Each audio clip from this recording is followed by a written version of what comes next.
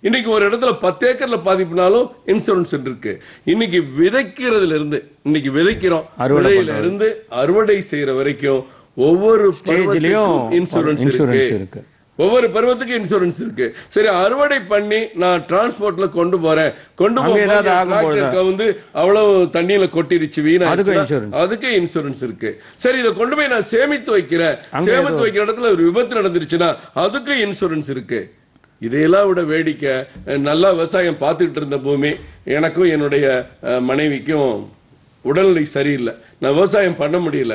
விவசாய பூமியை தரிசா போட்டுட்டேன். அப்படின்னா அதுக்கு இன்சூரன்ஸ் இருக்கு. இது எல்லாமே இந்த ஃபெசிலிட்டி எல்லா விதமான விபத்துகளுக்கும் இதுல இன்சூரன்ஸ் இருக்கு. இதையெல்லாம் விட வேடிக்கை என்ன தெரியுமா? நீங்க இன்சூரன்ஸ் கரெக்டா கட்டி நீங்க கிளைம் பண்ணும்போது முப்பதுல இருந்து நாற்பத்தஞ்சு நாட்களுக்குள்ள அந்த இன்சூரன்ஸ். கம்பெனி உங்களுக்கு செட்டில் பண்ணணும். இல்லாட்டி அவங்க மேல நம்ம வழக்கு. அவங்க அதுக்கு அபராதம் கட்ட வைக்கலாம். அவங்கள போய் கேட்கலாம். அந்த உரிமையாவது இருக்குல்ல.